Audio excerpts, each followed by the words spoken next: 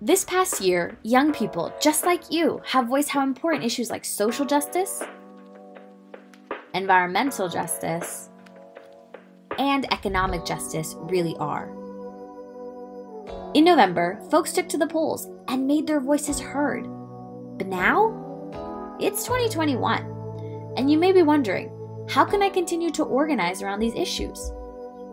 For the last 50 years, we here at Common Cause have been dedicated to the fight for an inclusive democracy, and we are proud of our many successes. Join our Student Activist Program to help exercise your voice and your power. Let's work towards a future democracy of, by, and for the people.